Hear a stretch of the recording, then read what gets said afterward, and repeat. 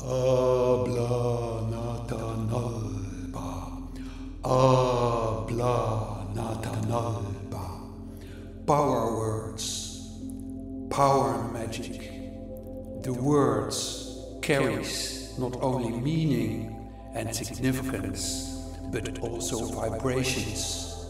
They vibrate in your body and they vibrate in the cosmos and they are your tools to create a separate magical reality.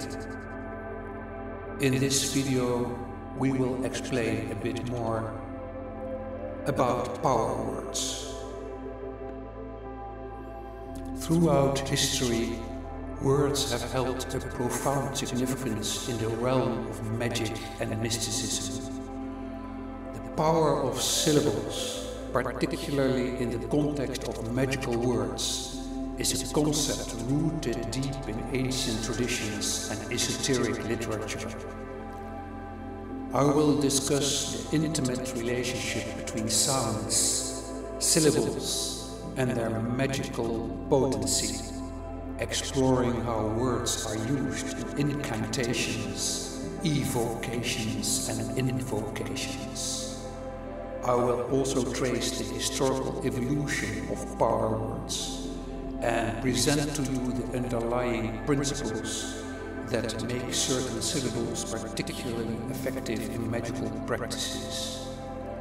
Power words such as abraxas, ablanathanalba, and even the meanwhile mundane abracadabra but watch that last words. If you really go for it, experiment with it. It is extremely powerful.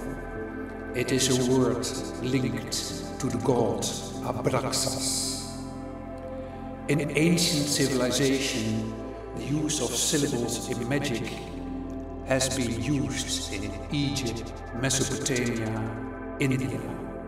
The old Vedic mantras are representatives of this. Exact pronunciation is needed for optimal effects.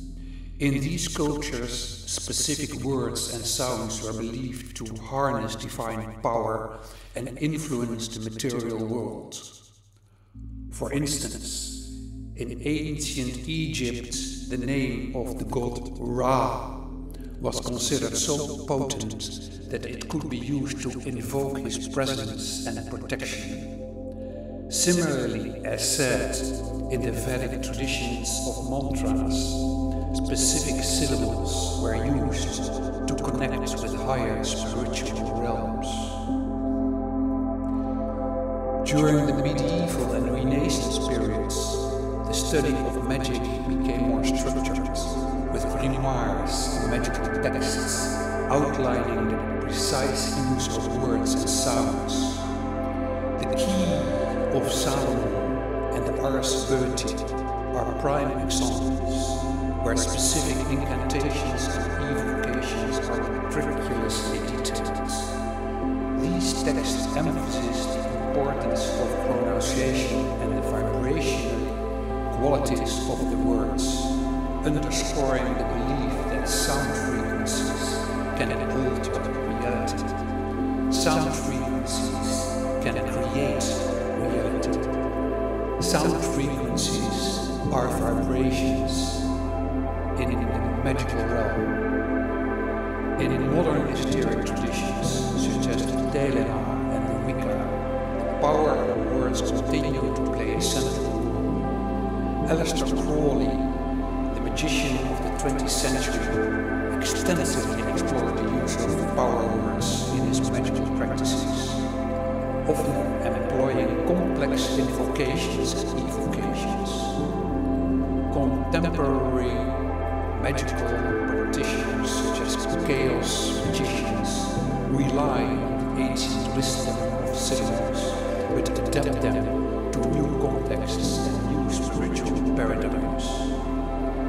Incantations verbal spells that are spoken or chanted to produce magical effects. The power of incantation lies in its ability to focus the practitioner's intent and channel it through the vibratory quality of the words. Each syllable in an incantation is carefully chosen to resonate with specific energies. For example, the word Aum in Hinduism and the Vedic traditions is considered to be the sound of the universe, encapsulating the essence of creations and existence and ending in utter silence. Evocations involve summoning spirits, entities, or gods, or angels or archangels to appear and assist us in magical workings. The precision of the spoken word is crucial in these rituals. The names of the deities and spirits are often derived from ancient languages such as Hebrew, Latin, or Greek, or Coptic speech, carrying vibrational frequencies that are believed to compel the entity to respond the syllables must be articulated correctly to ensure the desired outcome, as any deviation can result in unintended consequences. This is especially pointed out by the Vedic mystics related to Vedic mantras.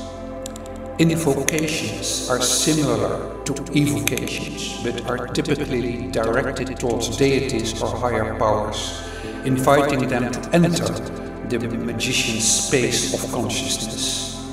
The power of syllables and invocations lies in the ability to align the practitioner with divine energies, to focus his intent, to create the landscape of his magic. Sacred chants, sacred hymns and prayers are forms of invocations that use rhythmic and repetitive syllables to create a connection with the divine. You can allow yourself to experiment with repetitiveness and rhythm of sacred words, and you will find out the profound effect of these words. One of the core principles behind the use of syllables in magic is the concept of vibration and frequency. Each syllable produces a specific sound wave that can influence the energy around us and in it. The idea supported by the science of cymatics, which studies the visual effects of sound vibration on matter, the Chladni plates, is very well known.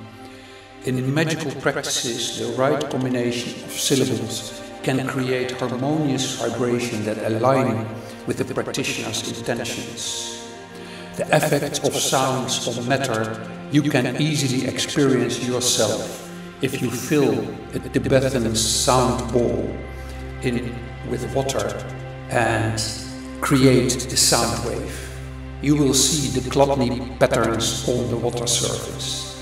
Some of our videos in this channel are demonstrating this phenomenon. The structure of magical words often follows patterns of sacred geometry and phonetics. The geometrical arrangement of letters and the phonetic qualities of syllables are believed to have intrinsic power. For example, the Tetragrammaton, Yahweh, is considered one of the most powerful names of God in the Hebrew tradition. Its syllables are not just letters but symbols that represent the fundamental elements of creation. Just as O, A, I are three syllables carrying forth the power of Abraxas, where the E stands for his spear, the O for his shield, and the A for his body. The effectiveness of magical words also depend on the practitioner's intent and focus.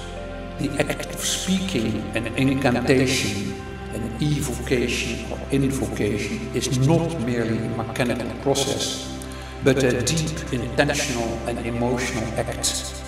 The practitioner's mental and emotional state imbues the syllables with power, enhancing their ability to manifest the desired outcome. The psychological impact of sounds plays also a significant role in the efficacy of magical words. Certain syllables can influence altered states of consciousness, as you yourself will find out, facilitating a deep connection with the spiritual realm. Chanting mantras and holy words can produce a meditative state that enhances the practitioner's ability to focus and direct his energy. Syllables used in magical practices often have a spiritual resonance that transcends their literal meaning. This resonance is rooted in the collective unconscious, the field where Carl Gustav Jung was working on, where archetypical sounds and words carry profound symbolic significance. The syllable Aum is a prime example representing the primordial sound of the universe and embodying the essence of spiritual reality. The word Abraxas we have explored in our videos quite a bit. It originates from Gnostic traditions, particularly associated with the Basilidian sect of ancient Alexandria in Egypt. Abraxas was considered a supreme deity who embodied both good and evil, transcending the dualistic nature of existence. The word Abraxas is composed of seven letters, a number often associated with perfection and completeness in mystical traditions. And additionally, the numerical value of the words in, based on the Greek letters add up to 365, symbolizing the days of the year in the totality of the cosmos. Abraxas is involved in rituals seeking balance and the integration of opposites. The syllables are believed to resonate with the cosmic forces of unity, making it a powerful word for transformative magic. Then abracadabra. This word has a rich history dating back to ancient Roman, Hebrew and Greek traditions.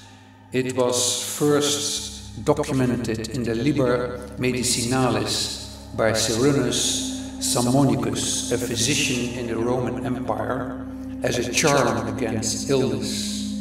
But its roots are far more ancient and are supposed to be in Egypt, where it was linked with the emergence of the deity Abraxas. The visual and phonetic tapering of abracadabra is believed to diminish negative energies and create harmony. Ablanathanalba is a palindrome you can read it from right to left and left to right. This word is found in Gnostic amulets and magical texts. Its origins are obscure, but it is believed to be a very powerful word, linked also to the god Abraxas. Syllables in magical words, magical words themselves can create reality, can create magical reality, and the words and power words are your tools to create your life, your environment, and your universe. Together as co-creators of your life with the divine, with the God of your preference with the divine principles or angelic forces, words will be able to help you creating your environment, your intent, and your life. Use the words, use the magic of the words, and grasp the multi dimensions of magical words which can enrich your life and help you to become centered, aware, self conscious, and continuously in a state of self remembering. Aho.